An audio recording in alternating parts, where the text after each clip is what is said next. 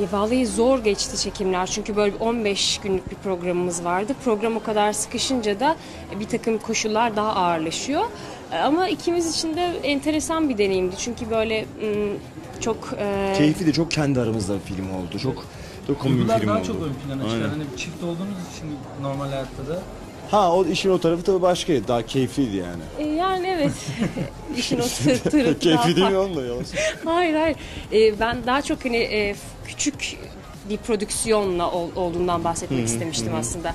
E, tek ışık kullandık. işte bir ışık ekibimiz yoktu. E, kamera arkası ekibi çok azdı. Bir tane reji asistanımız vardı. O da hatta filmin sonrasında, E, Sonrasında dahil oldu. 3-4 gün sonra dahil oldu.